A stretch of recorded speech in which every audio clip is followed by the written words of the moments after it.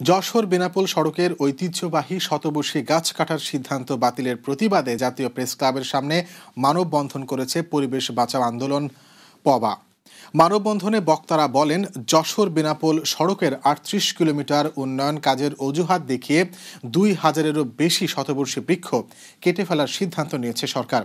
মুক্তিযুদ্ধের স্মৃতি বিজড়িত যশোর রোডের ঐতিহ্যবাহী শতবর্ষী গাছগুলো কেটে ফেলার সরকারি সিদ্ধান্ত প্রত্যাহার করার দাবি জানিয়ে বক্তারা বলেন, গাছ কাটার সিদ্ধান্ত পরিবর্তন না করলে কঠোর আন্দোলন গড়ে তোলা হবে। এ সময় পরিবেশের ভারসাম্য রক্ষায় গাছের গুরুত্বের কথাও তুলে ধরেন তারা।